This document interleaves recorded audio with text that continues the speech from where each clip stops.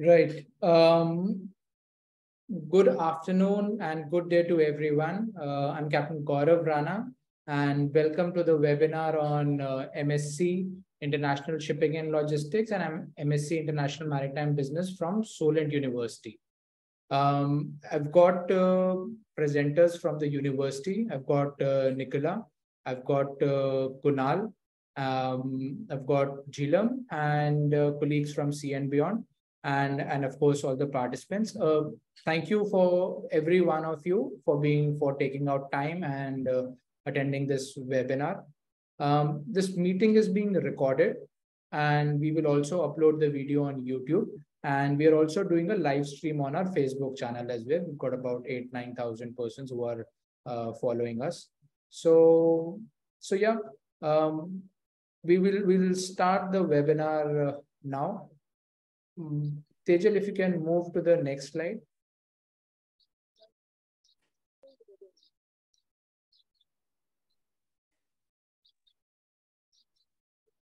All right. Um, contents, how, how, how, do we plan this webinar? Uh, we'll uh, have an introduction of the presenters, introduction about the college, the campus, uh, the facilities. Uh, then we'll have an introduction and uh, uh, details about the course which we are uh, offering. Um, we'll uh, we have our alum Neelam and we'll hear from her as well. And then we will take the Q and A's. Um, um, first is that any questions that you would have after a slide, you please put it on the chat window. Um, we can take it later on. We will not take questions after each slide. So any and every question which comes into your mind, you may please put it on the chat window and we will surely take it at the end, please. Uh, moving on, uh, Tejal. Um, why we are doing this webinar, essentially a lot of times when we want to plan uh, about a course, about upgradation, about anything, um, we typically try to find out people who would be able to provide us some information um, and very seldom we are able to find the course leaders, uh, the alums, and specifically all of them at the same place. So what we are trying to do, Sea and Beyond, through this webinar is to increase your awareness, uh, consolidate the information uh, um, and pass it on to you so that you can evaluate the relevance of it and you can take a well-informed decision, right? Um, as I've already said that you can submit the questions at any time in the chat window, but we will take the questions at the end itself. And we will also share the slides uh, at the end of the webinar. Um, we will move to the next slide, please, Tejal. Uh, okay. Um, so we've got Kunal over here. Kunal is uh, Deputy Director and head of maritime professional courses at Solent. Uh, he's himself a ex-mariner.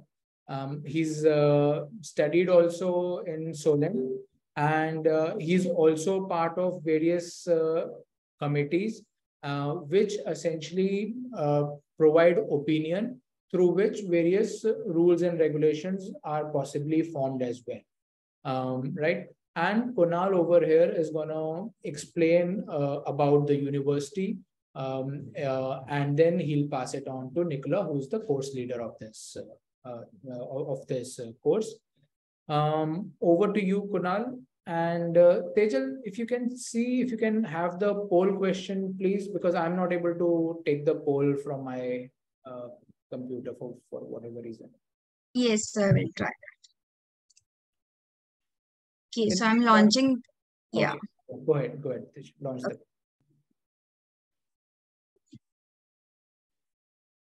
Have you launched the poll? Yes. Can we see? Is it visible? Yeah, we can see it. Yeah. yeah. Okay.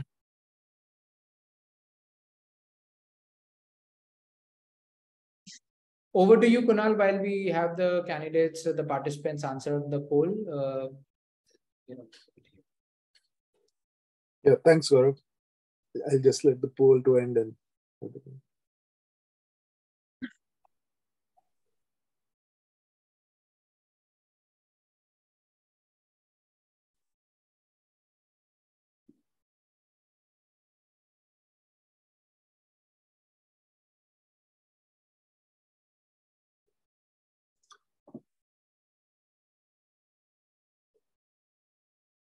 Right, as as we wait for the poll to to end, uh, I can just Just share the result.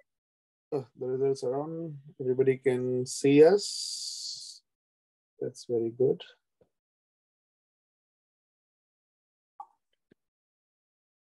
And various places that you have heard about us from. Uh, yeah, as Gaurav said, my name is Kunal Anand. Uh, I'm Deputy Director for Warsash Maritime School, uh, and I'm uh, the head of these courses that we are going to be talking about today. Uh, and as uh, Gaurav also pointed out, I'm ex-seafarer, like many of you here, uh, and ex-student of of as well. Did my chief mates master's courses there, as well as a similar MSc, which was being offered about 17 years ago now. Um, so uh, I'm going to talk to you about uh, University uh, and Southampton in general, and then uh, hand over to Nicola to talk about more about the university as well as mainly about the course and its content and, and why you should be choosing this course. Next slide, please.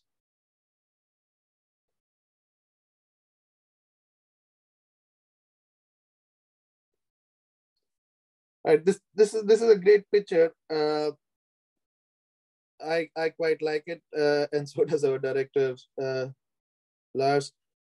Can we just stay on that slide, please? No, we're going forward. Go back.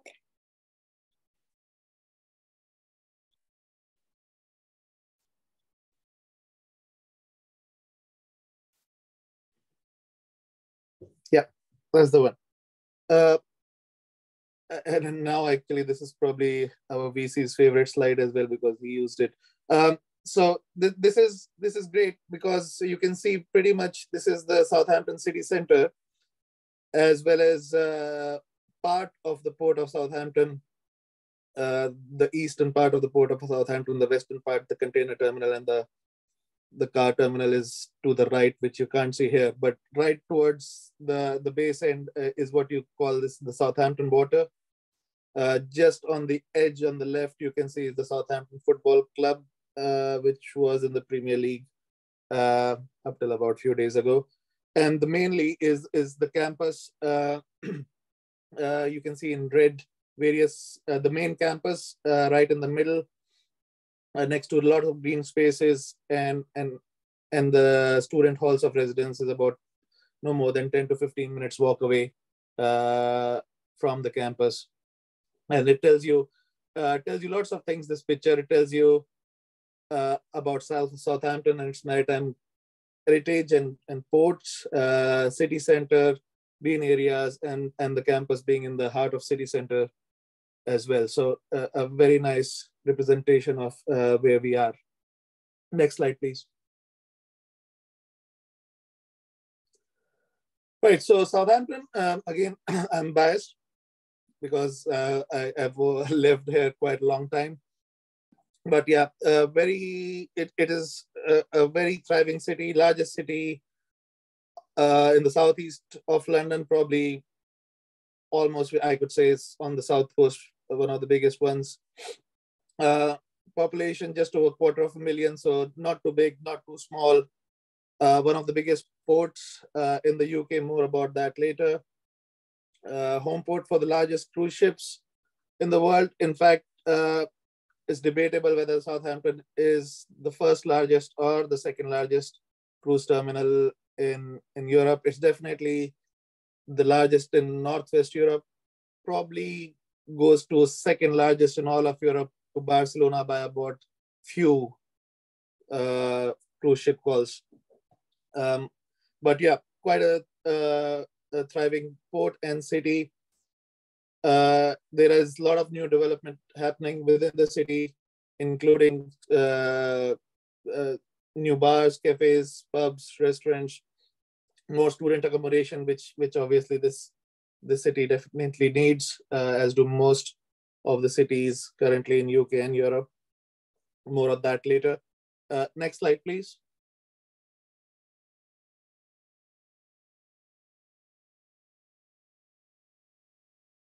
Next slide, Teju. Right. Um, again, in and around Southampton, or or Solent as we call it. So Solent, uh, the name's derived from a body of water which separates uh, UK mainland from Isle of Wight, uh, just to the south of uh, Southampton. As you can see there, obviously in and around this area, quite a bit of heritage uh, as well as uh, tourist attractions and, and visiting places.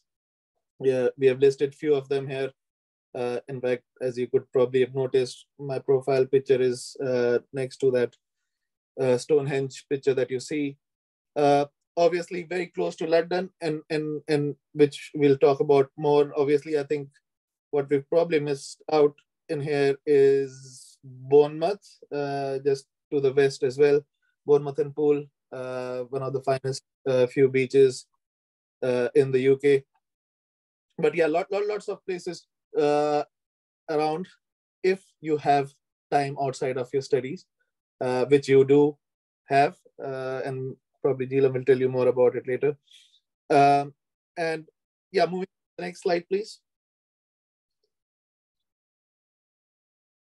Uh, some of our facilities, uh, yes, uh, the building which you saw in our, in our first slide as well, uh, and Neelam has done most of her studying in there, uh, is the Spark building uh, on the left, top left. Uh, it has in in the first few years of opening, it continuously won uh, award for the best higher education teaching facility in the UK. Uh, we've got UK's arguably uh, Europe's largest, or one of the Europe's largest uh, simulation set, maritime simulation centers, which we're quite proud of various other facilities such as state-of-the-art sport complex, which as a student you'll have access to. Uh, we've got other facilities, mock courtroom. Uh, again, we've got access to Adobe, Adobe Creative Campus. So all our students do nursing facilities and so on. So quite quite proud of our infrastructure that we've got within the university. Uh, next slide, please. student residences, obviously, uh, university has its uh, own student residences, uh, but not enough for all of our student population. So obviously, then there is uh, private sector uh, student accommodation as well, some of which is listed here. Again, uh, the costs listed there as well, anywhere between close to five to six thousand pounds, or thereabouts a year slightly higher in some places.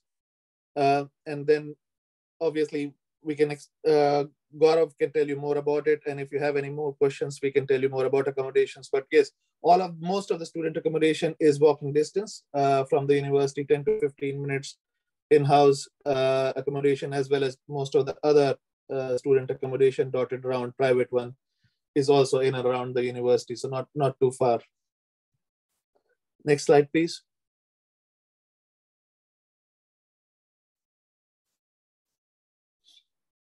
Uh, yeah, Solent Sport. Uh, we've got our own uh, test park sports ground uh, for training of uh, various sports. Again, this is slightly off campus. Our main uh, sports campus, uh, sports complex rather, which is uh, open in 2019, uh, 28 million building, uh, and it's got uh, basketball courts, badminton courts, uh, two state-of-the-art gyms, which again you will have access to.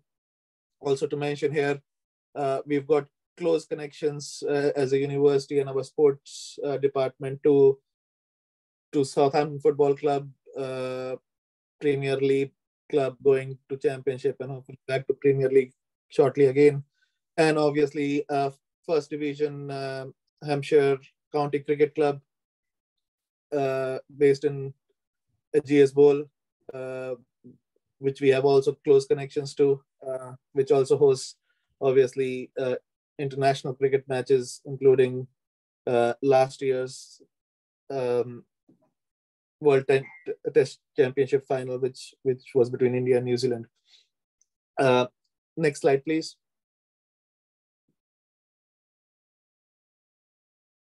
It didn't mention on that slide, Kunal, but there is a cricket club. I know that because some of our students are in the cricket club. Oh yeah, sorry, yeah.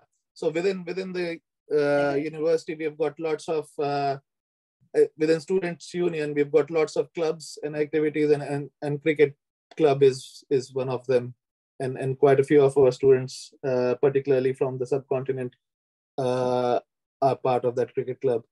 They enhance that cricket club. yes, they do. Uh, I wish I could join it as well.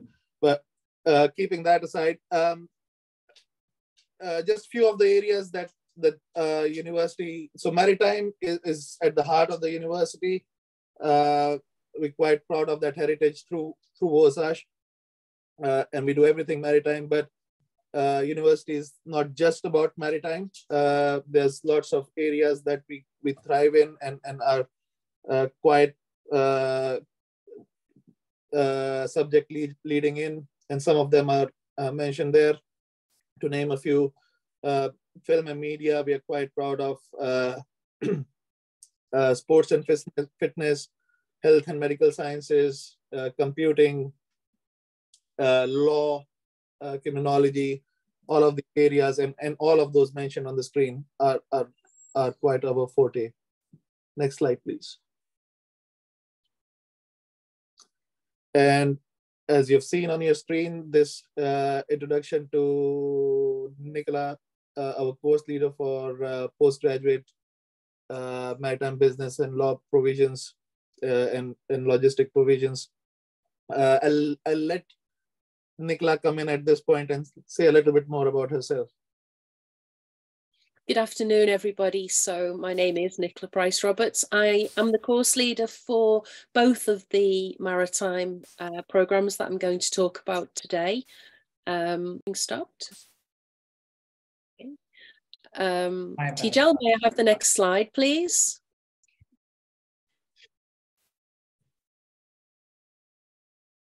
So we as uh, the maritime master's degrees, we are based within the Warsash Maritime School. So Warsash Maritime School is everything from cadet training through to PhD. Um, and everything in between professional courses the um, traditional degree courses the technical and professional training that seafarers go through as well. So all of that is situated within warsash maritime school.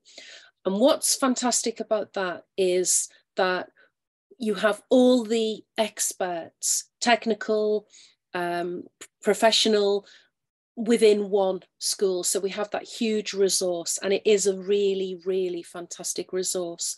My colleagues are from all over the world, all over the UK as well. Um, very few actually originally come from Southampton or from the uh, south of the UK. So we are truly international.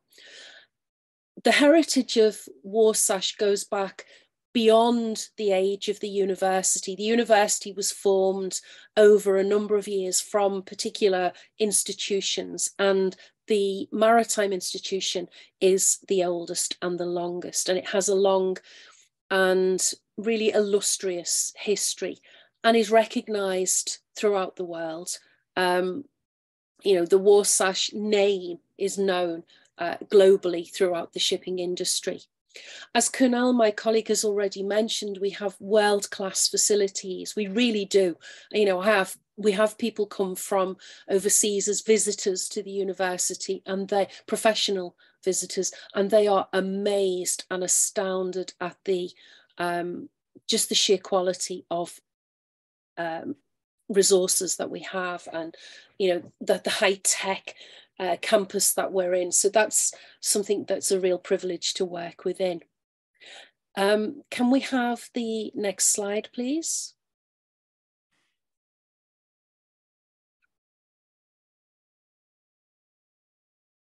There you go. So that's the question that you're probably asking yourself. Why should I consider studying for a maritime degree at Solent University or particularly Warsash Maritime School within Solent University? Well, I've already mentioned that we have this long history. but the other thing which I am very proud of, and we see this within our student body, and I've already mentioned my colleagues, is although we're based in Southampton, we are truly a global entity. Our students, as you'll see in, in a future slide, are from all over the world, and our students are all over, uh, uh, sorry, and our graduates are all over the world.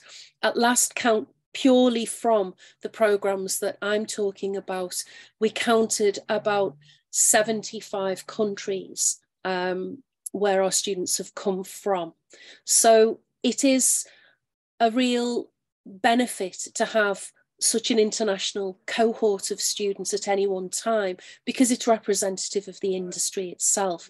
And you know people bring their experience they bring their cultural knowledge and experience share that with everybody in the classroom through the year. And then when they go away you know everybody's linked everybody's got friends all over the world in all different parts. And that's exactly what you need you know from a networking point of view we're based in Southampton, and I know that Kunal has mentioned Southampton, but I want to talk about our links with Southampton Port. Um, it is one of the major ports in the UK. Um, it's a significant port, and it always has been throughout history because of its um, position in the UK.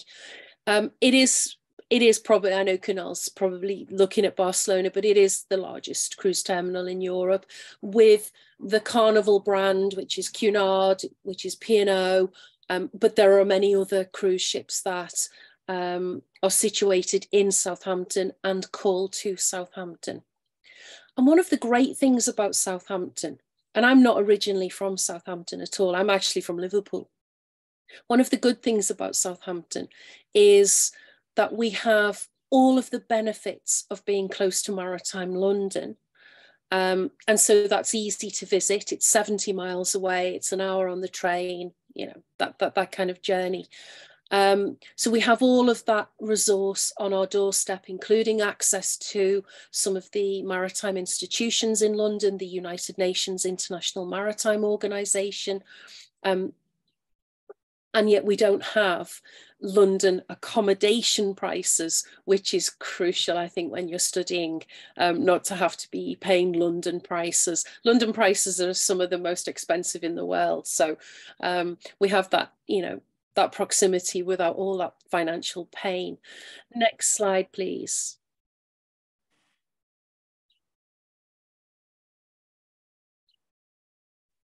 So the two programs that I am course leader for are MSc International Maritime Business and MSc International Shipping and Logistics. And when we think about the names of our programs, we sit down as a teaching team and we very carefully consider those names. And it's deliberate that we have the word international in both of the titles because they truly reflect what we are about, our intention, um, that the courses will be both uh, available to the international community, but also represent the international community. And I think you can see on those pictures um, the graduates above, they've got some very strange things in their hands, haven't they, like aliens and all kinds. But you can see that um, that's actually, um, it's not a year group, that is a group of our graduates um, that came from Malaysia. Okay, so, you know, there's a little Malaysian group there. They all wanted their photograph taken together. Um, and we have links with, with, you know, countries around the world.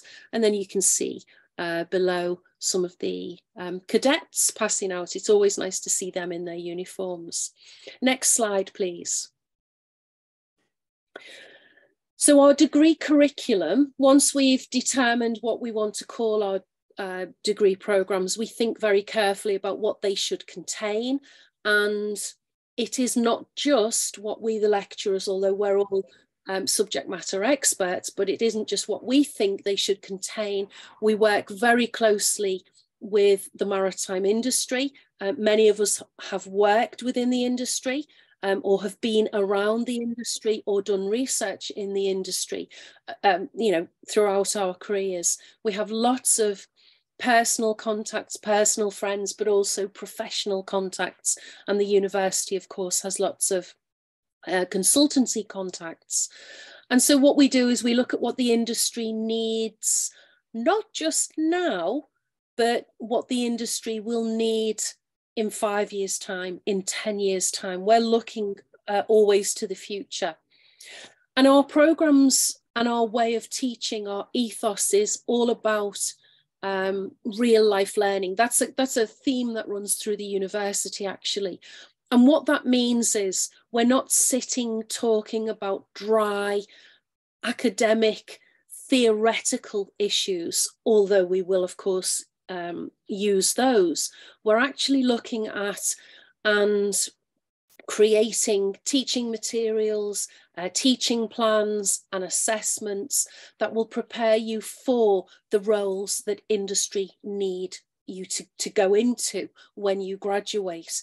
And it's why, you, and I have real, real challenge put putting this slide together because I can only squeeze in so many tiny little um, uh, logos for companies without um, it becoming meaningless. They, they, you know, they would just become pixels, wouldn't they, if I put too many on there?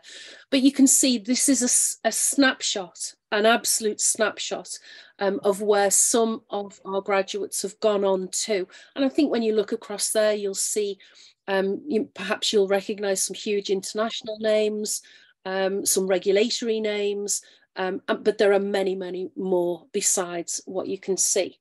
So, what do our graduates go on to become? Well, um, I'll give you a profile of our graduates first. So, some of our graduates come from an undergraduate related maritime shipping logistics degree, and they're looking to do master's program. Many of our graduates have already had time at sea and they are very valuable for the industry very the industry is always very interested in people who have got both um, a nautical career and then the academic qualification of a master's program. You have it all. Um, to, to top all that because of the international nature of our students we always have students who um, speak an array of languages as well. So can you imagine how interesting um, you are to industry.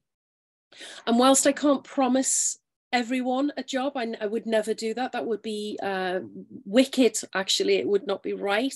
Um, I can say that there are years, and the last few years have been very typical of this, where employers will be coming to me and my colleagues now saying, Have you got anyone? And quite often I've said, you need to come a little bit earlier. Everybody's already fixed up. They know what they're doing. They're either, particularly with um, the undergraduate students, because they've absolutely finished everything now. Many of them are starting work in the next couple of weeks. But actually, some of my master's students are starting work in the next couple of weeks, even though they've got their um, final dissertation to write. So you can see um, across the screen, you can see the type of companies. So we have uh, students that go into shipbroking, they go into vessel operations, they go into ship management. Um, many of our graduates choose to go deliberately into um, international logistics of which shipping is a, is, is a part, but they go into to, to specifically, you know, logistics companies. And of course, uh, port operators, locally and internationally. Um, it really is, and we've we we do have some students who go into the um, regulatory bodies. So, for example, Maritime Coast Guard Agency or the Marine Accident Investigation Branch. Um, it, it, it's really across the you know the the whole industry. If you can think of a company, we probably have someone who has worked for them. Okay, um, and I'm emphasizing that because I know it's a common question that I get asked when I'm talking to potential applicants. They always and rightly want to know um, what will happen after I graduate, what opportunities are available to me. Uh, next slide, please. Oh no, I've put Tejal to sleep. Oh no, she's awake. Here we go. So let's talk about the uh, two particular programs that we offer. And these are the names of the modules that will be offered uh, to this September's intake. The year after, the themes will remain the same, but the slightly different module titles. But let's look at what we have now. And you'll see some commonality between the two programs. They're sister programs, so they share some modules. Maritime management, it is exactly uh, what it says it is. It's about the um, skills and knowledge that you would need to become strategic managers of the future. International maritime law, well, it's the law of the ship relating to the ship, admiralty law, it's sometimes referred to. And that's on, and uh, they're on both programs. Maritime operations and transport, you can see is also on both programs. Uh, maritime operations and transport is around um, different ship types, their trades, but more increasingly, it's about the um, environmental and operational sustainability of um, operating ships. We have the economics of international trade and shipping. Of course, shipping is driven by economics, so um, it's important that uh, students on both uh, both programs would have a module in that. And everybody is taught how to do uh, master's level research okay? Because that's important because you can see that everybody will then do a dissertation. The dissertation is the is the biggest element of your um, master's degree program and you do it on a subject of your choice okay so as I say to my students, you've only got yourself to blame if you don't like your dissertation to topic because you chose it. But you are supported in your dissertation, both obviously with the preparation of how to, um, to put such a big piece of work together with the research methods module, and you're also supported with an experienced supervisor from the teaching team. And here's where the programs become different. So let me uh, focus first on international maritime business, and then I'll talk about shipping and logistics. So maritime business takes a, uh, if you like, a more, um, if you, pure business uh, path now. It's uh, got two distinctive modules, international trade and commercial law. So that is about the carriage of goods, the sale of goods on an international basis, um, and also includes uh, things like, because we're talking about carriage of goods, um, charter party law and practice.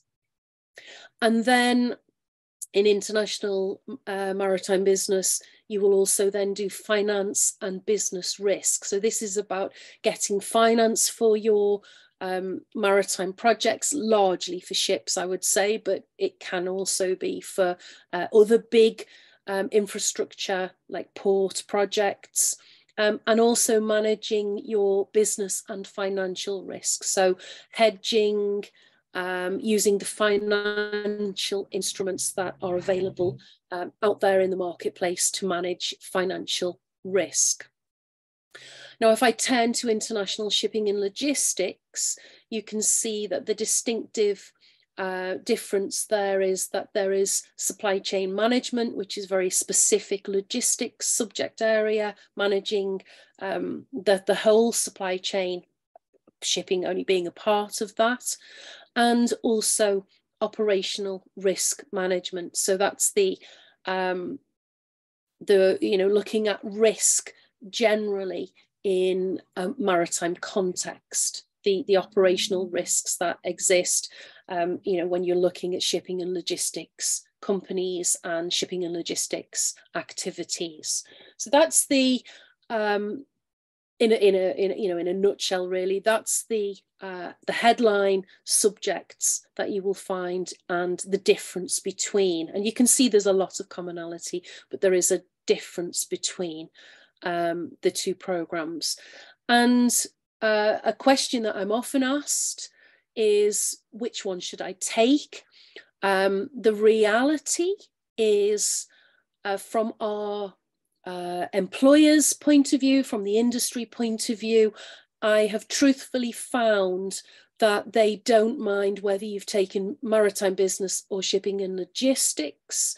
Um, the shipping and logistics suggests that you are looking more at uh, perhaps um, managing logistics operations, perhaps ports.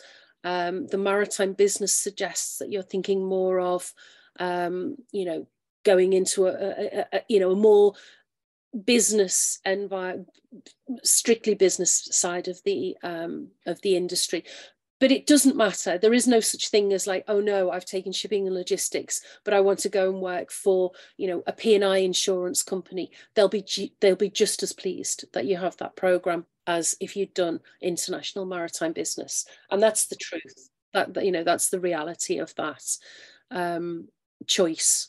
So pick which one you think you would like is my advice. Okay, next slide, please. Both of our degrees are externally accredited by chartered in, uh, industry bodies. Um, the Chartered Institute of Transport and Logistics and the Chartered Institute of Shipbrokers. Now, what does this mean?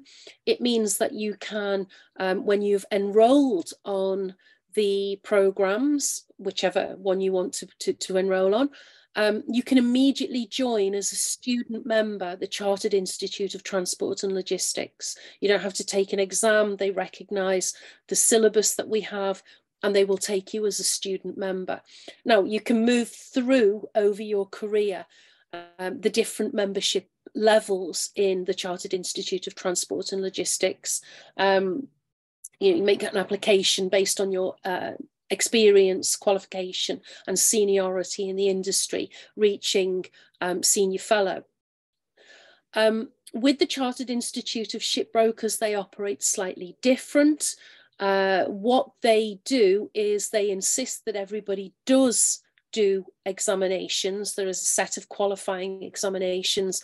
However, you would get the maximum number of exemptions um, by having our degree. So actually you I would my recommendation always to students if they're interested in joining the Chartered Institute of Shipbrokers is wait till you've finished your degree, get the maximum number of exemptions, and then in the year that you after you graduate, take the remainder um, exams. They're not very uh, very difficult actually. The exams.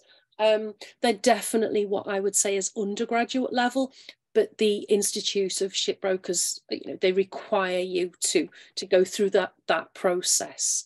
Um, what does it mean when you're chartered? It means, well, it's actually what they refer to as a royal charter. It's a benchmark, it's an industry standard.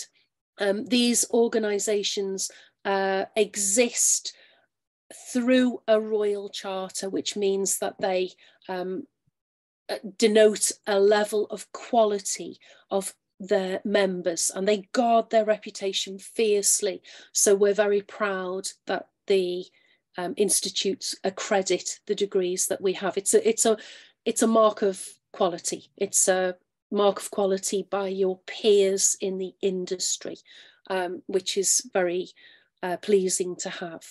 Next slide, please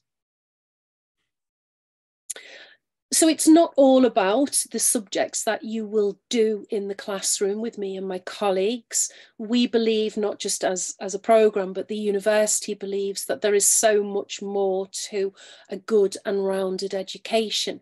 And so we will have um, industry speakers come to uh, visit um, visiting speakers. We have uh, an annual maritime conference every year in February. It's a, it's a week long um, where we have external speakers come from industry. Um, we always make a point of inviting some of our alumni who are working in the industry, some at very senior levels and some who have literally just, you know, been making their journey through their career in the last few years because it's nice for uh, we think for students to be able to see what they have become, if you like.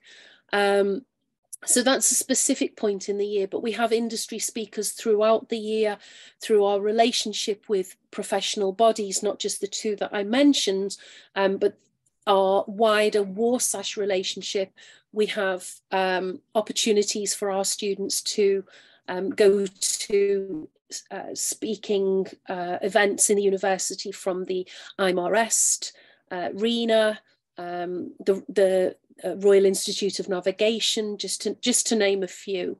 Um, I'll leave JC, who is with us currently, to talk about um, the work of the Worshipful Company of Shipwrights because we're engaged with them as well. Um, but we do have, uh, you know, a lot of speakers that come. And not just that, um, so, you know, obviously the speakers coming, it's interesting to hear about specific roles and in parts of the industry, but it's also an opportunity to network. I am going to mention the student run maritime society in a minute, but we'll, you know, I'll just mention it so it links back to this. Um, aside from shipping, Solent, as my colleague Kunal has already uh, shown on his slides, um, Solent has a really good history of student clubs and societies, and our world-class sports facilities allow us to have very good sports facilities and sports clubs. Um, you know, I know that obviously because of where we're situated on the south coast, you know, anyone who's interested in sailing, and in fact, all the yachts that people sail are all designed by fellow um, students of Warsash anyway. Um, so we do get quite a lot of sailors, but we also have um, clubs and societies which are uh, slightly surprising to me sometimes. Um, so I always recall a time when I was having lunch at the International Maritime Organization. I was having lunch with the head of the legal department, and he's an American who used to work at the US Coast Guard. And he told me, um, we didn't know each other, and he, you know, asked where I was from, and I said Solent, and he said, "Oh," he said, "You've got the best American football team in the country."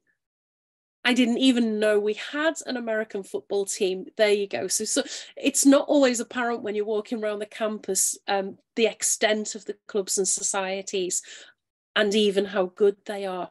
Um, I'm very proud of one of our current MSc students because he very quietly said to me before we had our Easter break, um, Nicola, I um, will miss the last day of lectures. And I said, okay, why is that? And he said, because I have to go off to a training camp in Morocco. And I said, oh, okay, training for what? And he said, well, I'm a, I'm a marathon runner. And I said, okay. And he said, I will be setting the pace for the um, the world class marathon runners at the London Olympics, uh, sorry, the London um, mar- Marathon. And I looked at him and I thought, bearing in mind I've been teaching him since September, and I said, I didn't even know you, you, you, I didn't know anything about this. And he said, Yeah, yeah, that's why I'm, you know, I'm part obviously of the athletics club as well in in Solent, but that's he's world class. He was setting the pace for the two hour um, marathon runners. And i thought wow and you were in my classroom all this time. So i'm i've worked at solent for many years now and i'm continuous continuously um, amazed at what our students are doing when they're not in the classroom. Okay next slide please field trips we believe in field trips as well as um, speakers coming to the university, we have always liked to and go and visit. And I mentioned that our proximity to London is one of our, um, you know, real assets for, for, for Southampton. And in the past and in the future, we will now resume. Um, we have, these are some of the things that we will we have done in the past. Um, personally, I always like to take students to the International Maritime Headquarters in London. It hasn't been possible for the last few years because of COVID. It's been uh, a real challenge to to visit, you know, for all the reasons that everybody knows. You know, I won't go back over those. Um, but we're very keen because it seems now that particularly IMO meetings are happening again in person um, and so we're very welcome with uh, at the IMO. Um, and trips, for example, to the Baltic Exchange, to, to, to the City of London, to Lloyd's of London, the Insurance House, to the Bank of England, you know, they're all based in the city, the Metal Exchange. And of course, Southampton Port, which is on our, and, and Freightliner Terminal, which is on our doorstep. Um, so we're very keen that they will resume um, in the next academic year uh, because that's now possible. Thank, thankfully. Okay, so um, at the top picture you're looking at there is a, is a group of uh, master's students from a few years ago, and they are, I'm just looking at the faces. Um, and there you, there you go. We are at the International Maritime Organization. If you don't like the picture, please give it. I'm not. I'm an amateur photographer, um, and trying to squeeze everybody in is is, is quite a difficult uh, difficult task. But there you go. It's just a, a nice memory of a visit to IMO because it's it's all of our International Maritime Organ Organization. You know, it isn't exclusively for the um, diplomats that go to the meetings and represent their various countries. And the IMO is welcome welcomes maritime students as well. Okay, next slide, please. I mentioned we're truly global. I know I keep talking about it, but I'm very proud. Um, and it's it's it's one of the main reasons that I like to work in Solent, um, just how global we are. Um, when I say we are proud to have graduates from, I don't mean the university, I mean the maritime courses. We are very proud to have graduates from across the globe. Um, and this is probably not an exhaustive list, um, all the time when I look at it, I think I can add some more countries as um, we have students from various countries, but it genuinely gives you the um, the idea that we are truly global. Okay, next slide, please.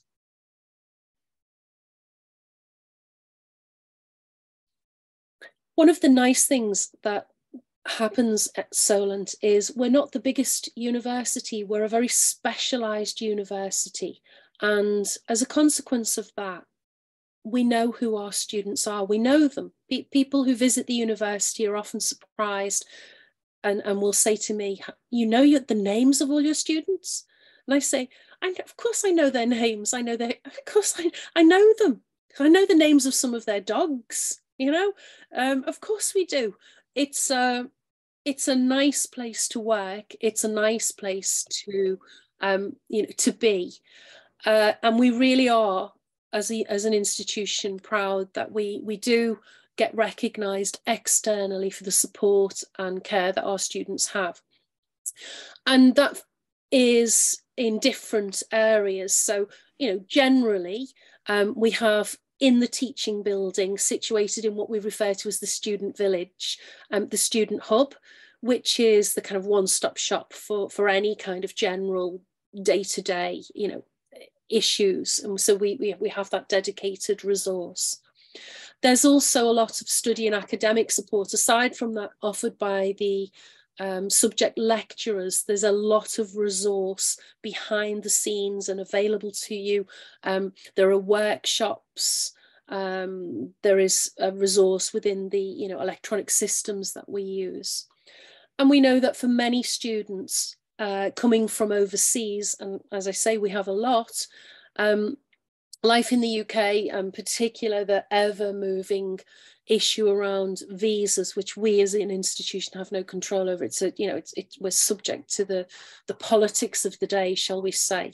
Um, sometimes uh, advice is needed, you know, and particularly around you know you you will already have your visa when you're there but what does your visa enable you to do in terms of employment you know things like you can work um, for 20 hours a week but that and you can also volunteer that doesn't include the 20 hours a week um, so some of the you know technical advice is needed there um, and and in particular you know the the process of uh, coming to Solent, there's an international student support team to help with all of that. Okay, so that's uh, a really good resource both for international students and also for us as lecturers because you know we can't keep up to date um, individually with all of that level of um, change and, and, and the support that's needed. Um, and so I'm really grateful that I have colleagues that specialise in doing that. Next slide, please. So I touched on before that the students have their own maritime society. It's student led. It's um, what happens each year in the um, maritime society is totally uh, determined by who the student, um, if you, the executive body, if you like, the president and the um, the people who are running it, um, and they get those roles through elections every year. Um, so if we have, you know, if the student society has a really good president and a really good executive team, then there is usually a, a series of um, external speakers, um, social events, different types of social events, um, uh, evening meetings, um, but there is a, a, maritime society. And I always say it is what the students make it in any one year. So um, you would be automatically part of that and you would have an input into uh, what you wanted from that. Okay, uh, next slide, please. So this is the real um, business end of the presentation. How much will it cost me and what kind of costs am I likely to incur? Um, very, very important uh, things that should be at the forefront of your mind. Okay, so here are the uh, tuition fees for the coming academic year um, for MSc, and you can see that the uh, we work really hard to keep our um, costs down. We really do work hard to keep our costs down because we know that that's a very considered issue. Um, so for international students, it's uh, £15,300. Okay, uh, why 300 not 500 or 15,000 but anyway 15,300 pounds. Okay. Um and in that we are ranked as one of the most affordable universities. And i think that that's um, something that you know we are proud of. We are relatively small, so we don't have lots of big campuses around you know the city. We we are as Kunal showed, you know, we're kind of based, and that's a that's that keeps costs uh, lower than some other bigger institutions that have lots of buildings that they have to um, support, if you like. Um, now, these living expensive expenses costs, um, they're a couple of years out of date. I would put a little bit on for inflation okay i would put a little bit on for inflation um, but it gives you a ballpark of the kind of costs associated with um, studying for a year in in uh, in on top of your fees okay just gives you a benchmark as to i mean you'd have those expenses if you were living at home or most of those expenses i'm sure but just gives you an idea of um, cost of living, particularly in the UK, and where it may slightly differ. Okay, so I know that you'll uh, keep these slides, so I don't need to go into that any in any more detail. They're just there for you to have a look at. Next slide, please. Okay, so um, here are a couple of uh, comments from our students. Um, I think it's very important that our students have the voice. I know I've done a lot of talking today, um, but that's my role in this, you know, this afternoon's um, proceedings. But we will hear from someone who is a current student. But here are some quotes. Um, and you know what are you working on at the moment so this is captured uh, when we have um, our maritime week, for example, we we, we capture um, these statements every year, and there's just a couple of things for you to to, to have a look at. Um, what are you working on at the moment is one of our um, students, uh, alumni from the past, and uh, they spoke at this week at this year's um, conference, and they've set up a private equity fund Pelagic Partners. Okay, we're very um, proud of our students and what they go on to achieve. They really are running the shipping industry, and that's something that's very um, humbling, but also a real sense of pride for us. Next slide, please. Okay, and enough of me. You've probably tired of my voice already, although I'm very happy to answer any questions later on. But let's hear from JC, who is, um, and it isn't scripted. I asked her yesterday if she would come, and I'm so delighted that she has agreed to come and uh, talk to you because she can tell you uh, whether what I've just said is, is her reality um, and and also give her impression and any advice, any tips, and I'm sure answer any questions that you may have. And you've probably got more questions for JC than you have for me or Kunal, but over to JC. Thank you, Nicola. So um, my uh, experience uh, before talking about that uh, i'd first uh, share like why i joined this course at the first uh, first place. Um, so i uh, like i have been a seafarer uh, and um, i have been into technical um, side of it. So i wanted to do a masters which has got as nicola mentioned before which has got the maritime specialization which is was about the business management and also which is um, international uh, like the it had to be the international. So the international maritime business which uh, i'm uh, like i have studied here um, was fulfilling all of this. Like it was international it was uh, having a specialization in maritime uh, and it was about the business. So that's why i joined this course. And uh, after joining then um, I felt that, okay, so the location is also very important where your university is located. Warsash is, of course, a very big name, an established name, has got an established alumni network, which is very important uh, when we think about uh, the what's after graduation and also for the career growth. Uh, it matters like uh, what is your alumni, um, what they are doing, where they are placed, and uh, it uh, and the it also gives the networking opportunity. So uh, the location was uh, also important, as uh, like like Nicola and Kunal mentioned that Southampton is very close to London, so it has got a location advantage. And uh, Southampton is not, uh, while the living cost is uh, in comparison to London, it's quite moderate, but it's quite a happening place and you never feel like it's only about university. It's not only about university. It's not only about your um, like thinking about all the time the studies. It's very important to study and uh, to have that time management. But uh, it's not only about studying. It's also about the social life.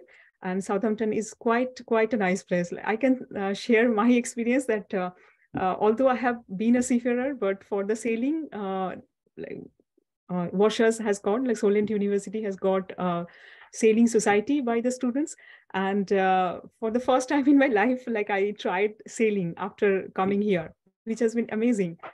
Uh, also some of the hobbies which I um, didn't have much time before and uh, I have uh, tried my hand and by joining some societies here to run by students.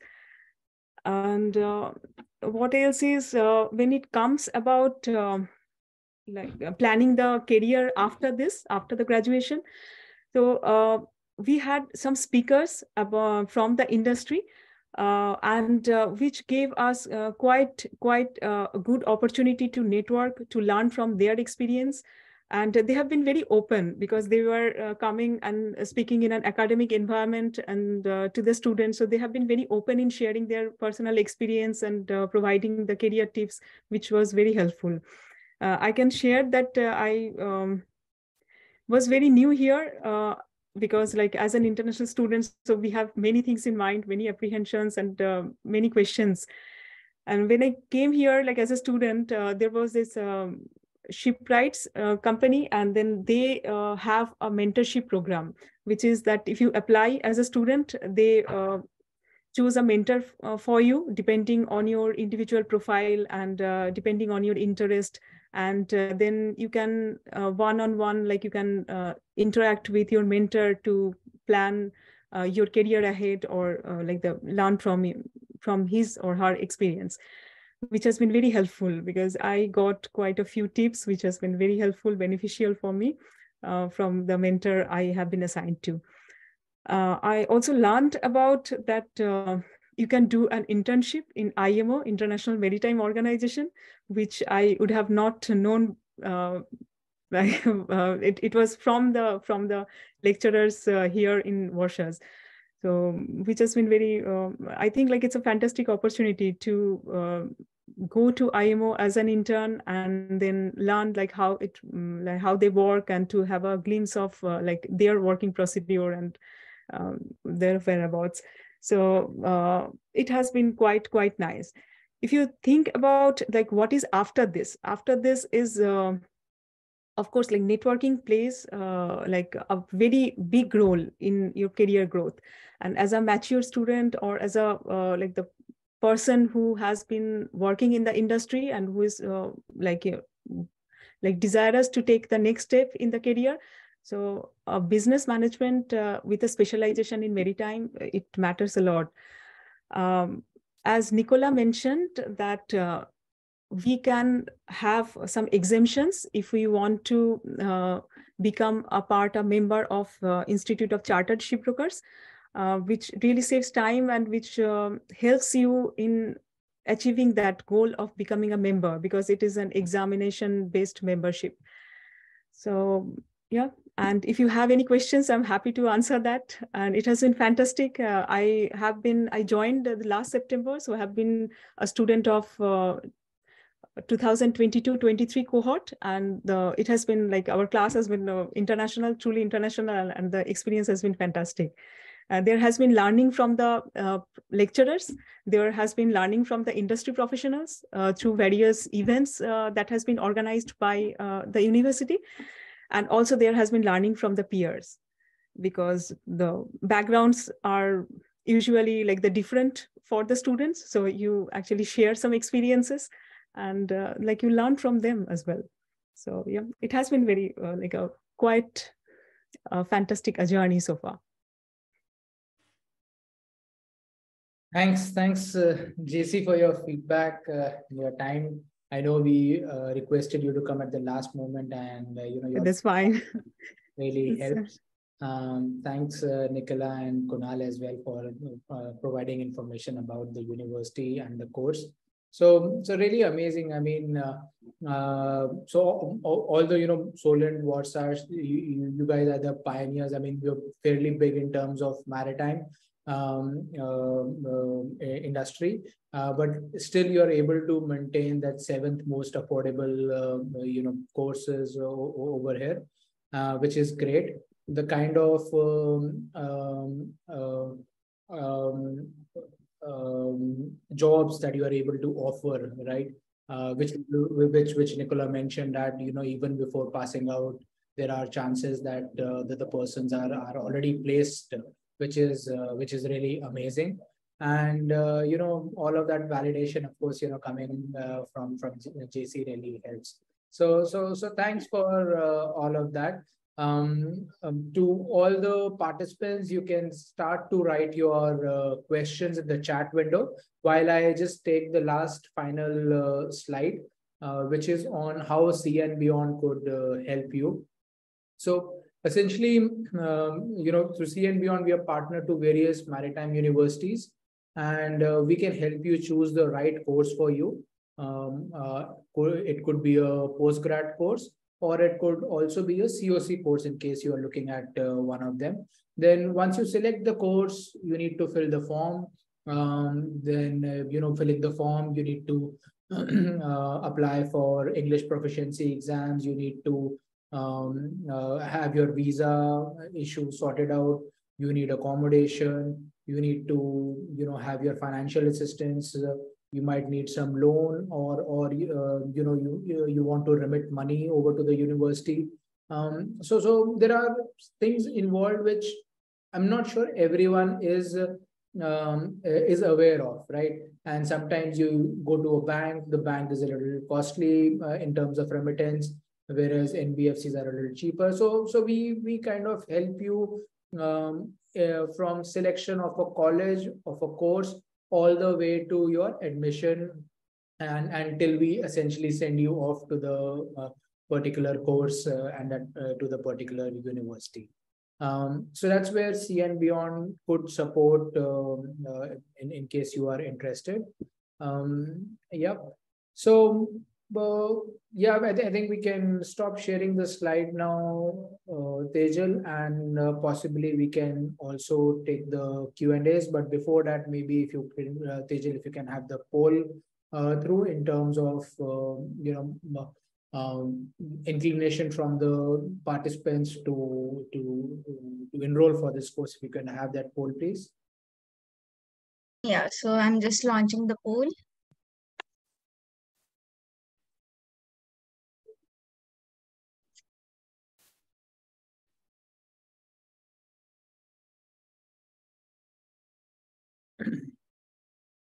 For whatever reason, I can't see the poll. I'm hoping uh, others can. Yes, yeah, we can.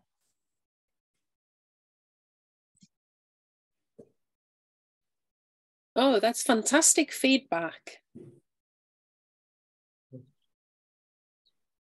So Tejal, I mean, once you have the feedback, you can end the poll and then we can start taking on the questions.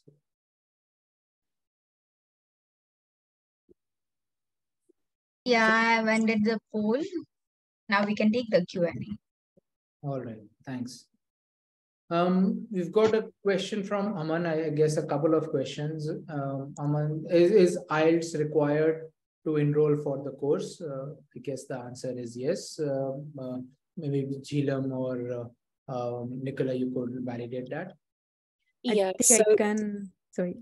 Oh, G Yes, JC, after you. no, J no, please, JC, you go. That's it's it's better they. I think everybody hears from you. Go, please. Uh, so, uh, so thank you, Nicola. So uh, I personally did not write IELTS. I wrote uh, the Pearson.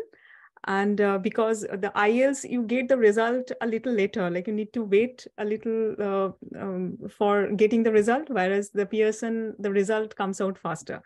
And I think like my Pearson was accepted. So if uh, there is anything else other than Pearson and IELTS, uh, Nicola, I think can share that. Okay, so um, yes is the um, is the answer. Uh, uh, an English language test, uh, whether that be IELTS or as uh, JC has said, Pearson, um, depending on your um, qualification for coming to the university. So, for example, if you have a degree certificate or certificates, and it says that you was you studied in the medium of English, um, it may be that you could uh, just do Duolingo. Okay, but Pearson seems to be very um, very popular. I think for for the for the reason I didn't know that it's it's it's one of those things as a course leader. Um, you don't know what you don't know, um, and because I don't have to take the uh, IELTS test, um, I have to take my advice from my um, international colleagues. Um, but I I have seen more and more with applications Pearson, and now I know why it's uh, it's more efficient, it's quicker. So yes, some form of recognized English test is required. And that would be the same for the whole of um, you know UK higher education. It's uh, it's an external stipulation, but it's also a good thing.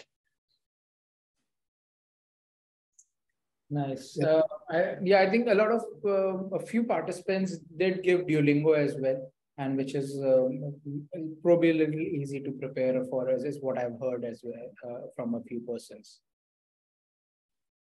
So um, if I'm uh, before I take uh, so among next question which which you've already answered is the post study work visa. There is a two year post study work visa is what uh, has uh, already answered that. Th thanks for uh, that. Um, um, so Jhilam, a question to you: How much time did it take for you to uh, once you started to apply for the course till the time you got your say um, uh, acceptance um, how, how much time did it uh, take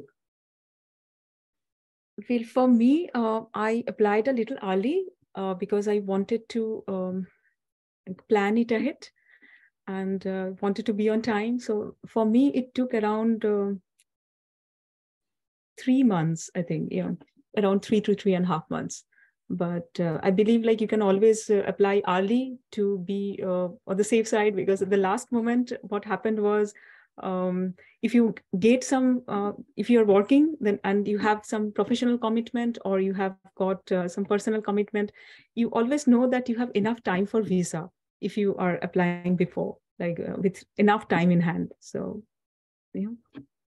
Yeah that's really good advice from jc um, as course leader i spend a lot of september um, dealing with um, applicants and the challenges that they are having and the fears that they will be late and some of them inevitably are late. So every year i um, i'm not trying to uh, sell the course.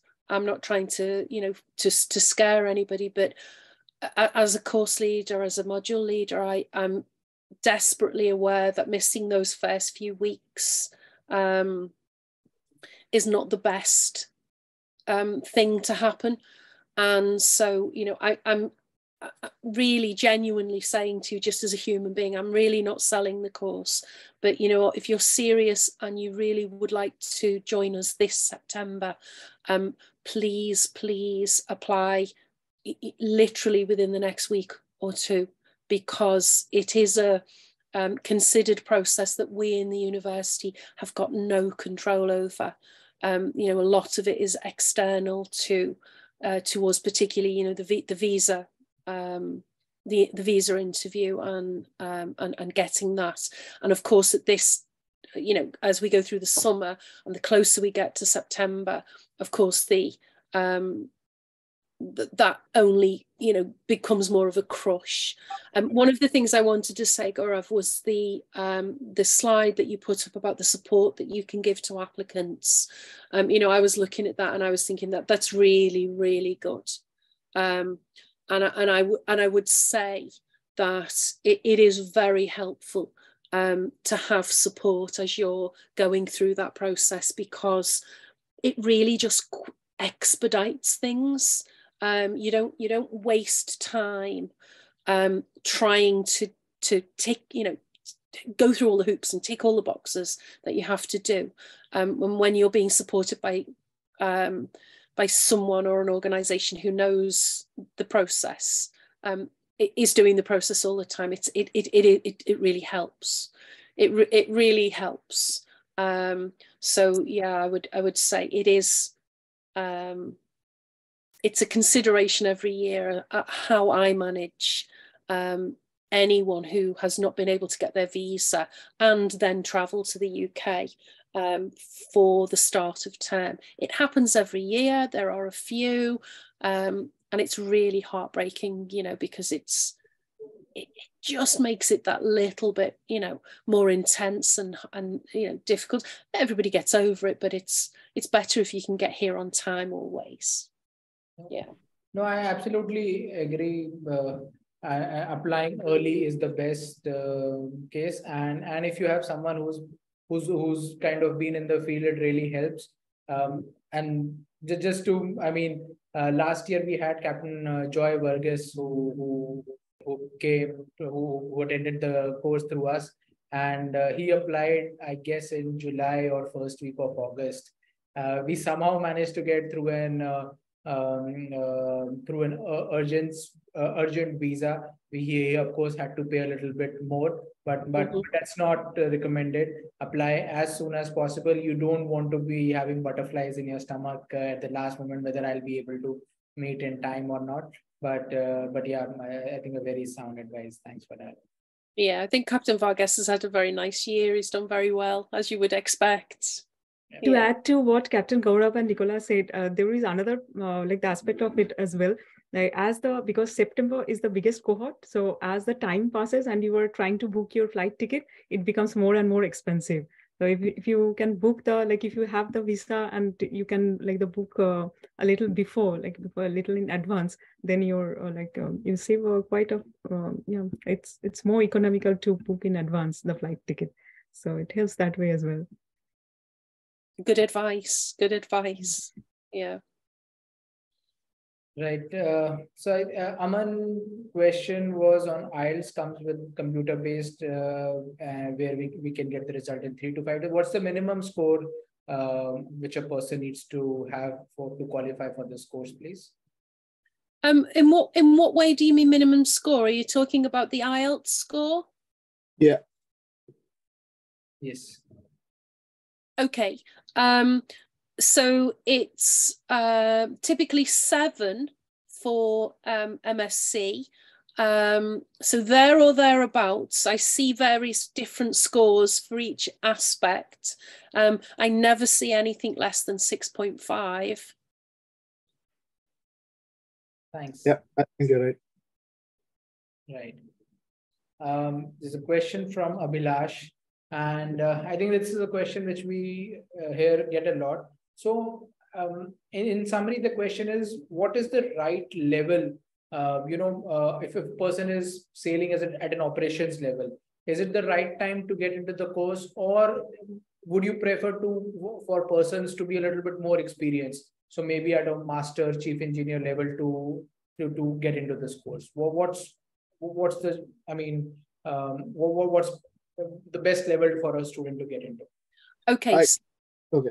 Go, no, Kunal, please. Okay. No, I, I can take that. So, um, yeah, ideally, so the, there's obviously entry requirements into the course. So if you've got an honors degree, uh, which you might have, as if you're depending upon which program you're following uh, through your cadetship or your of the watch license, uh, if you've got a full honors degree, then obviously uh, you can come into the course. But if you're solely coming on your professional qualification based on your COC, uh, it is highly recommended that you you have a management level COC. So at least uh, a chief mate or master or second engineer uh, or a chief engineer, and also have a management experience uh, in the rank uh, in the top four, as we call it at sea. That would be the bare minimum we would say is is acceptable for for seafarers. Um, but um, Nicola, I don't know if you want to add something. Yeah, that that that's the entry requirement for the masters programs. If you have um, uh, less than that, less in terms of uh, COC and experience, um, all is not lost. You can apply and you could do um, what we would call a, a one plus one. You could do perhaps come for level six of the undergraduate degree, um, do that year and then uh, do your master's after that. So it's a kind of one plus one, we, we, we would say. Um, so, you know, that, that, that is also a route. Um, you know, I understand that that means two years out of work and, you know, two years as a student. And that's, that's a consideration for a professional person, isn't it? Yeah. And that's the maritime management you're talking yeah. about. Yeah. Great. Um, We've got a question from uh, uh, from Aman. Can we get dependents along with us for the course? Okay, so that is um, very much in the news at the moment. It's very much a political issue.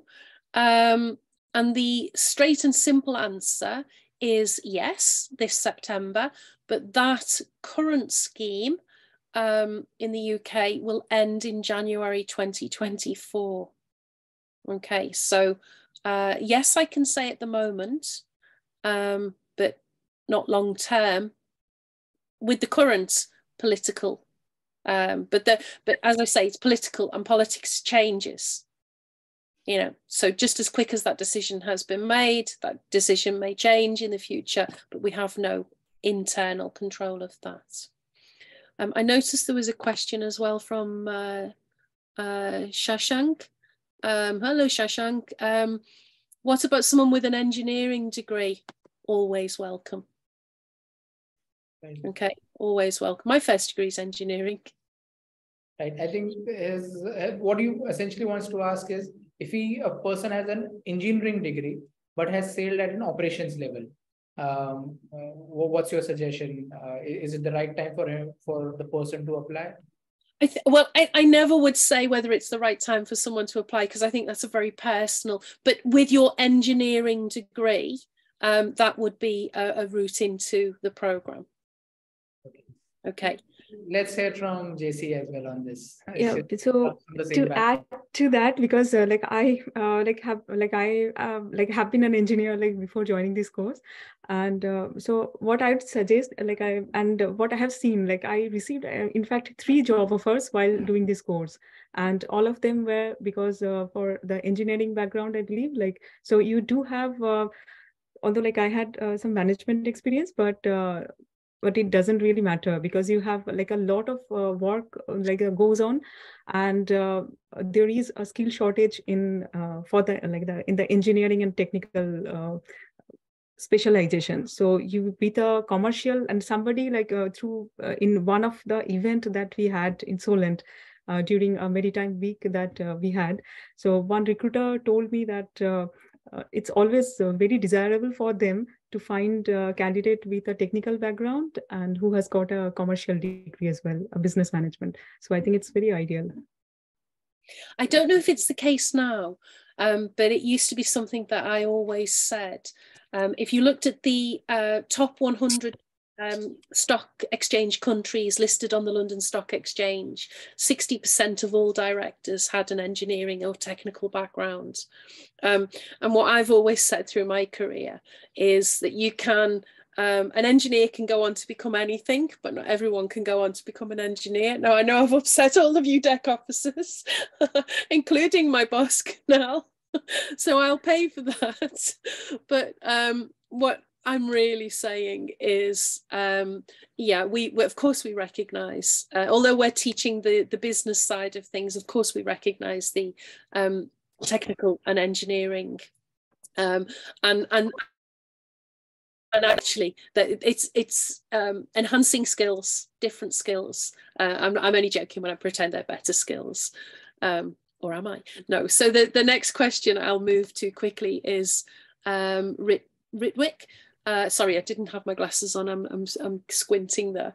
Uh, what about a bachelor's in nautical science? Yeah, nautical science, of course. Yeah, you know. Also, um, appropriate. It's a, it's a, would be uh, if it's a degree from a recognised institution, um, then the university would, um, of course, welcome a nautical science degree. It is also technical and specialist and you know that's that's fantastic. Yeah. Great. Um, maybe two questions in uh, uh, yeah go, go go ahead go ahead. Yeah so to add to that that uh, southampton like the uh, mca that's maritime and coast guard agency their headquarters uh, like is in southampton so which is a like a very like a huge advantage like when you are looking for job because they're always looking for um, people with a seafaring background and then you have the technical qualifications. I mean it's both the nautical and the uh, engineering. So it is it is a fantastic opportunity always to be close to the places uh, which are close to your university and who has got a requirement for qualified people yeah, th thanks, JC. That's a very important point that we have the Maritime Coast Guard Agency. Literally, uh, it's kind of five minute walking uh, distance across the park that you see you saw in one of Kunal's slides. And also based in that building is the Marine Accident Investigation Branch. And we have um, graduates working uh, in both institutions. So we have very, as you can imagine, um, we have very close links with, with those institutions um, not just physical links, but you know, um, shared common interests and shared uh, personnel backwards and forwards. Yeah, so that's that's really good. Lloyd's Register as well. Oh yeah, of course. Yes. Lloyd's Register. Um, there's two universities in Southampton. There's there are there is us and there's the other. And Lloyd's Register are based with the other university just up the road um, working with their engineering campus uh, closely. Nice, nice. I think they are delinking at the moment. Delinking. Yep. Yeah. To be back independent again. Yeah. Um, uh, I'm just looking through the questions? I guess we missed two questions. There's one question from Zia Hassan. Uh, what is the average age of the students for these courses? Wow, that's a very difficult question to answer. So to actually give you a an accurate number is very difficult. And what you're really asking is, are all the students in their early 20s? Absolutely not. Okay, so we do have some students who've come straight from an undergraduate program, um, but I would say that the majority of our students are probably in their 30s. So I'd say the average age is somewhere in the 30s. Um, but we have had uh, students as old as I shouldn't say as old because I am in my 50s, but we've had students, you know, in their 50s too. Um, age is not a barrier. Um, I, I, think obviously for the investment you're making in your future, there's a kind of, you know, there's a there's a time in your life when you think that that's um, that's worth it. I think with our seafarers, it's often when they are at a particular point in their personal lives where they perhaps think, okay, been there, done that, master, been master, now got a family, wouldn't mind seeing my children a bit more often. I'd like to come ashore, and this is the process that I'll take. Um, but yeah, anything from you know, it, it can be anything. So I, I I can't give an absolute accurate answer, but there is a range of ages, and we benefit um, from that. Um, and, and, as JC said before, there is a lot of peer learning. Um, and I would say as well, we, the lecturers, uh, very much as you would expect at master's level, we very much like um, and we learn from our professional students. That's that's how it should be at master's level education.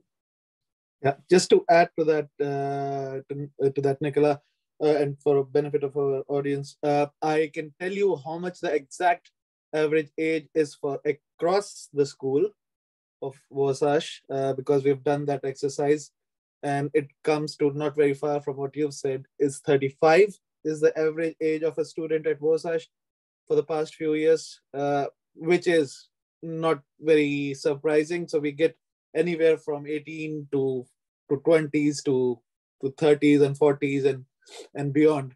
Uh, quite senior people coming in as well. But yeah, I would. It's difficult to put a number. Age is not a barrier to education and learning. And uh, yeah, I'd, ideally, if if we want to put a number to it, I would probably say late twenties to early thirties uh, is the right right uh, is the average sort of a thing. Nice. Good to know. Um, I think there's one more question which we missed was from Aman Malhotra. Uh, he's asking about scholarships. And they, uh, what are the scholarship options if a person has to do this course? Scholarships. Quite a challenging um, question, quite a challenging answer. Um, so limited, I would say, if I'm going to be honest, I would say there are limited opportunities. Um, it, it, it is quite difficult.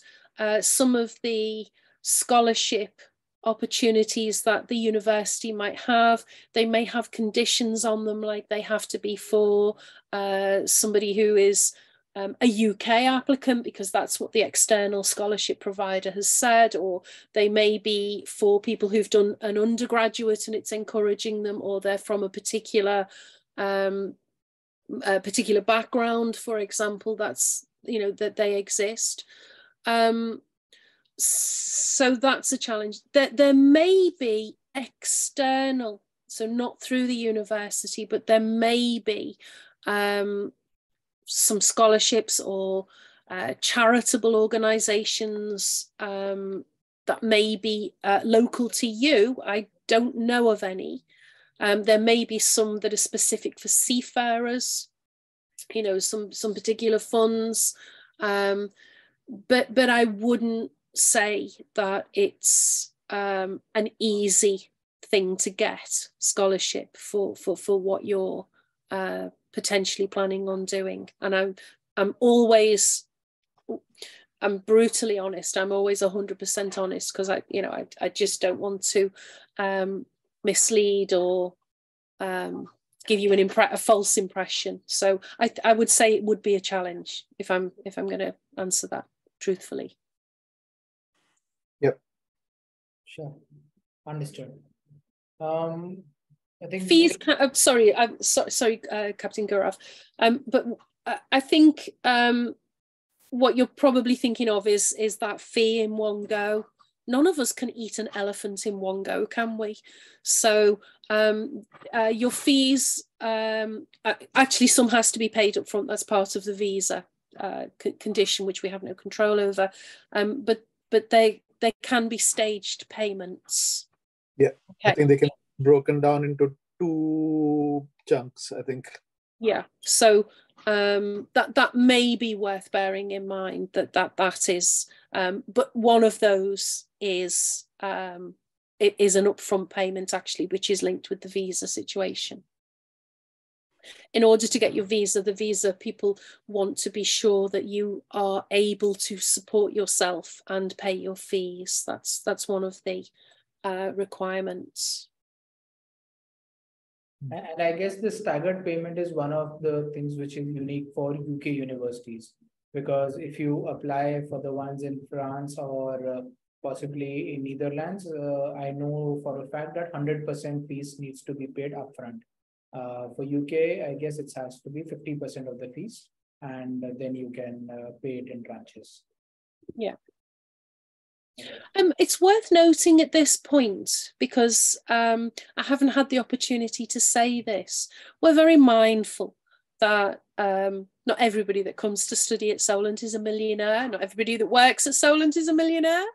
Um, and so, uh, what we did a number of years ago was we um, organised our teaching and it will be this way next year because I've already looked at and worked with timetabling on the um, timetable for next year.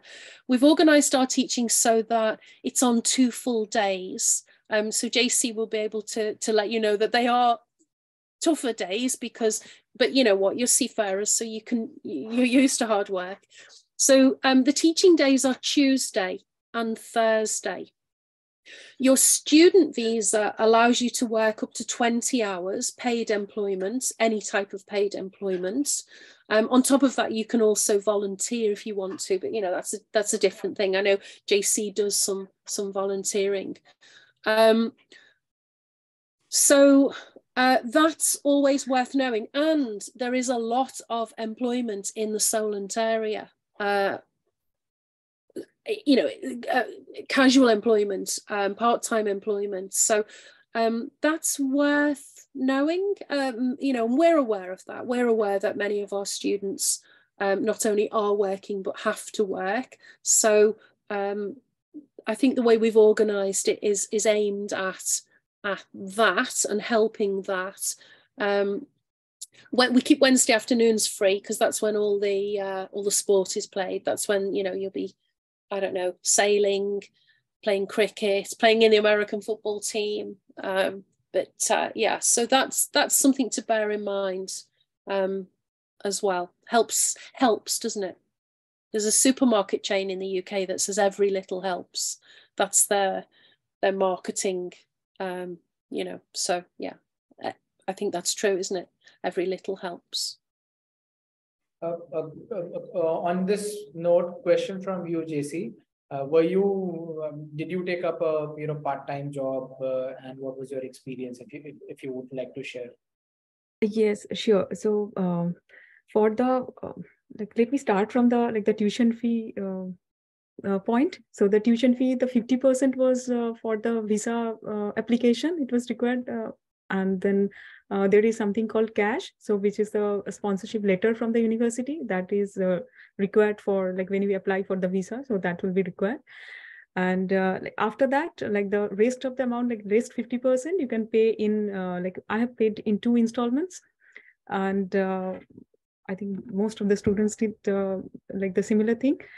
And for your like one year like the for the living expense uh, so that is that comes around uh, a little above 9000 pounds so which comes around uh, something around nine and a half lakhs in indian uh, currency. And uh, that's uh, that's what like is your living expense that you need to show.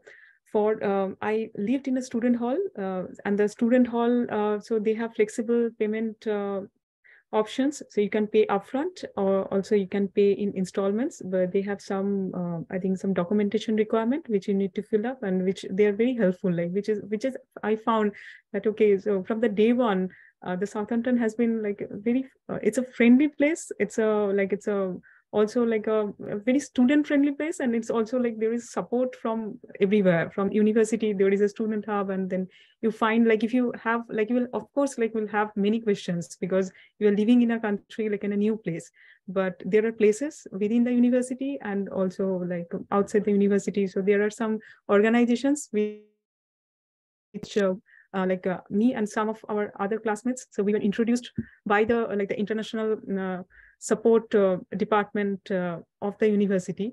So who um, helps you to um, socialize, to get to know the other students from maybe other universities or same universities. And uh, then you get to exchange some informations, many informations which are helpful for your day-to-day -day living and uh, so it's that and then for the part-time uh, work so i was working like i have worked for some time and uh, um, like okay so it depends on you and your like how you want to uh, like the work what is your uh, personal situation. But yes i have worked uh, the part time sometime like not throughout but yes sometime.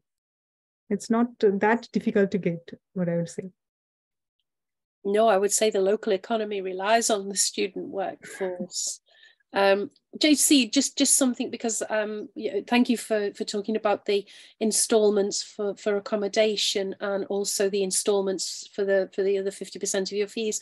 Um, for, just for clarity, um, it there there is no interest to pay on um, the instalment payments. It is just the flat fee. It's not um, subject to interest, is it? No, it's not.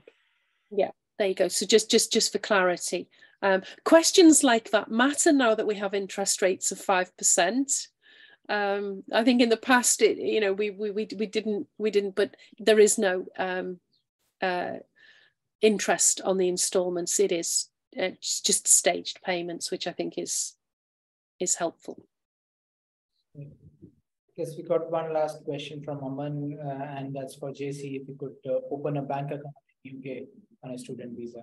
Uh, yes, uh, I mean, like we can, we need to basically because there are many places that I came with a forex card, but the forex card doesn't work online, or the many places like you cannot uh, for like you cannot like for the bus uh, for the public transport if you are using then it's better like you have uh, like a local bank account otherwise like it's always like you know fluctuating exchange rate and uh, it's not very convenient. So uh, yes, we, you can open a bank account. Um, I opened with uh, with Lloyds Bank, which is quite renowned, and uh, they have. Uh, but there are many uh, bank accounts and university, the campus, which is very close to the high street, which is the city center. So you can uh, just like even if you need some documents, so you can like just get it from the university and uh, they submit uh, them. So you can open a bank account. What you cannot have is a credit card. So the credit card on a student visa, because there is a um, credit rating, I believe, like the that you need to uh, have, which takes time to gener get generated. So you cannot have uh, a credit card, but you, yeah, surely can have a bank account, and you will need to. And yeah, and debit card that goes with it, obviously, because of most is hardly for the benefit of for for uh, our Indian audience here is there's hardly any cash in use in in UK. Uh, everything is card based and everything is almost everything is contactless now. So. Yes, most of the places. So your forex card might not work in all the places. Like for it will support you for the few initial few days, but you will eventually need to have a debit card and of the local bank. Right. I guess we'll take one final last poll uh, question, Tejal, if you can take uh, that one, and uh, then we could end this webinar. yeah, I've shared. Okay. Let me know once you're finished with it or once two persons have answered. I can't see the poll. Yeah. Oh, I'm nervous watching this poll with those questions. Oh, that's nice.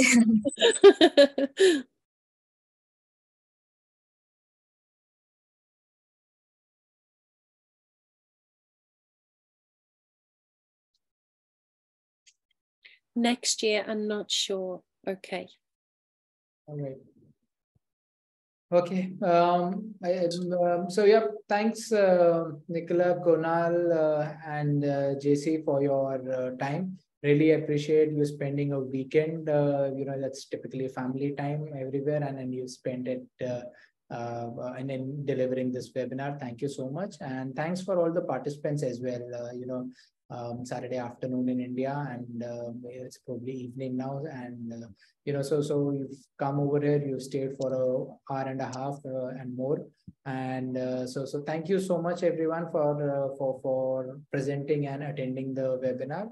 We Captain will. Gaurav, sorry, just before we go, because I know that people will drop out as soon as you say, you know, good, um, good, good evening. Um, do you want uh, a, a do you want me to post my contact email in the chat or will um will any queries any future queries do you want those to come through you and you have my um contact Yep. Um, what we can do is we can share the queries with you, and there are some which we could also possibly answer. And um, so, so we could filter those out and uh, you know help and maybe just support you in the, in, in this. Okay i'm i've just when i noticed that there was um uh, thoughts for next year i'm i'm just very happy and i'll come back again next year or, or, or you know Absolutely. beforehand. Um i'm just very conscious that there may be um further questions that i'm happy to answer. Okay thank you. Sorry i interrupted. And um, I'll go and interrupt once more. Uh, is just to say thank you to you as well, Gaurav, uh, for and to Jalam for for organizing this. I know there's a lot of work which goes in the background to get this organized and in uh, ship shape, as we call it. yes thank you Right. No, yeah, yeah, thanks, thanks everyone. I guess we'll do the next uh, webinar. I mean, for the next batch, maybe a little earlier, maybe sometime in January or so is a little better, wherein people are able to then, you know, have enough Plan. time for them to decide. Uh, um, that would be fantastic i look Right. forward to it Right then, um, yeah, thanks, thanks again, everyone, for your time. And uh, um, Tejal has shared the contact details. She has shared the email ID, the phone numbers, uh, you know, website wherein you can have your queries come to us. Um, whatever queries, since we have been doing this for a couple of years, we might be able to resolve your queries. If not, then um, you know, of course, uh, Kunal, Nicola, um, and uh, you know, Ravi, they, they are. Uh, accessible and we can always take inputs from them as well. Um, yeah, thanks one again. Uh, uh, once thank again, you everyone. Thank you. good Bye. evening everyone thank you for your time Yeah, take care thank you.